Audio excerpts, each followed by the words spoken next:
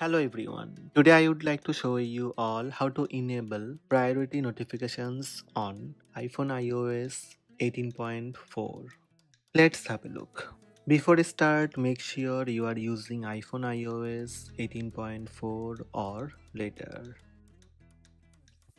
First, open Settings app on your iPhone. In iPhone settings, scroll down little bit and tap notifications. Again scroll down and find out Apple Intelligence. Here you will see prioritize notifications. Tap on it. Apple Intelligence can show you notifications that may be important in a separate section on the lock screen so you can catch up on what you may have missed. Simply turn on prioritize notifications. So these are the steps to enable prioritize notifications on iPhone iOS 18.4.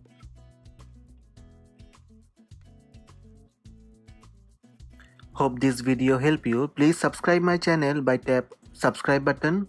Also tap the bell icon to receive notifications about all new videos.